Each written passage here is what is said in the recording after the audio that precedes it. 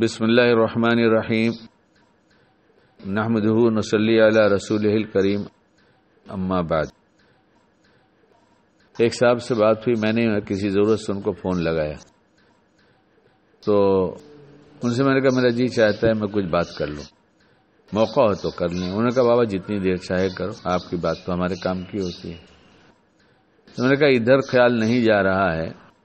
जिसकी आगे बात करूँगा, ख्याल किधर जा रहा है, जहाँ जाना चाहिए वहाँ जा रहा है, लेकिन जहाँ बहुत बड़ा नफा है वहाँ नहीं जा रहा है।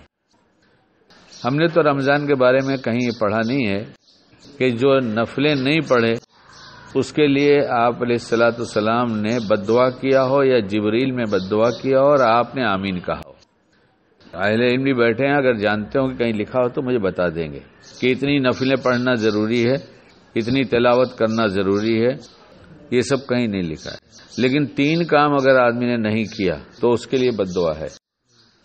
तो कितना अहम काम होगा? भाई, दुआ मिलती ना मिलती बदुआ तो ना मिलती। हाँ। लेकिन बदुआ है। रमज़ान मिला और मफफरत नहीं हुई। मफफरत कैसे होगी? माफ़ी मांगने से होगी, तौबा करने से होगी।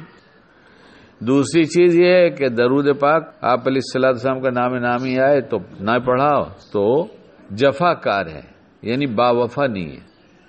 तीसरे वालदेन हैं, या दोनों में से कोई भी हैं, और उनको खुश करके जन्नत नहीं लिया, उस पर बदुआ है। अजीब, कितनी अहम बात है ये। लेकिन इस पर बहुत कम बात हो रही है। भाई, दुआ मिले ना मिले बदुआ तो ना मिले। तो जिनसे मैं कह रहा था, उनसे पहले भी बात हुई थी, कई साल से बात होती रहती है तो उनके वालिद जो है, वो जरा बहुत फहम वाले, अकल वाले नहीं है।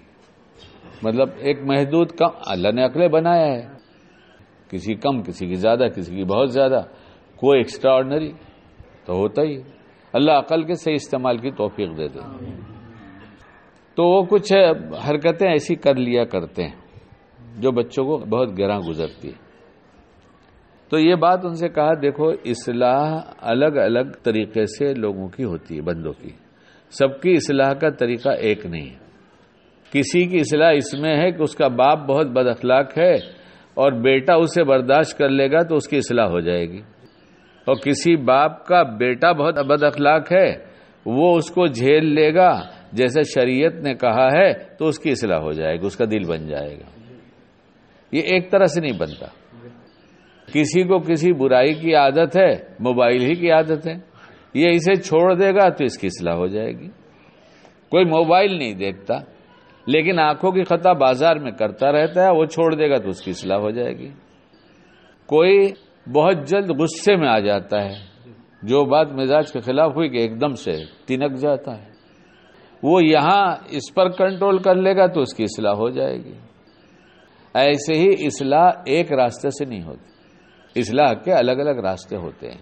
और ये किसी शेख कामिल से पूछना पड़ता है क्यों नफ्स तो हमेशा हमको सही बताता है। मैं तो सही हूँ। यही सबसे बड़ी गलती है। सबसे बड़ी गलती क्या है? मैं तो सही हूँ। ये फैसला मैं क्यों करूँ? ये फैसला तो शरीयत करेगी ना। कोई शरीयत का जानने वाला करेगा ना, मैं सही हूँ या गलत हूँ? वो साहब चूँकि बात बहुत मानते हैं तो उन्होंने सुनाया।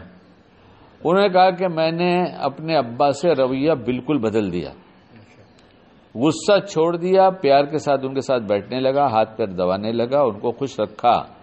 मैं कोई रमज़ान इतना अच्छा नहीं गुजरा है जैसा ये रमज़ान गुजर रहा है। इस रमज़ान से पहले भी आप वालदेन के लिए आपकी सुनता रहा और कोशिश करता रहा।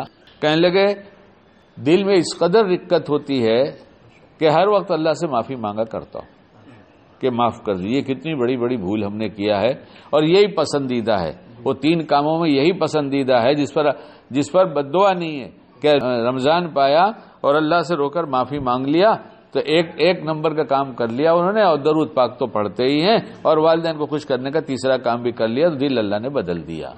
अल्लाह हमें अपना दिल बना लेने की तोफीक दे। रमज़ान है, बनाने के लिए आया है। ये रमज़ान रोजा रखने के लिए नहीं आया है। रोजा रखने के लिए, रोजा तो फ़र्ज़ रखना ही पड़ेगा, लेकिन रिज़ल्ट में क्या चाहिए? दिल बना हुआ है कि नहीं है? अल्लाह हमें अमल की तोहफी अता फरमाए।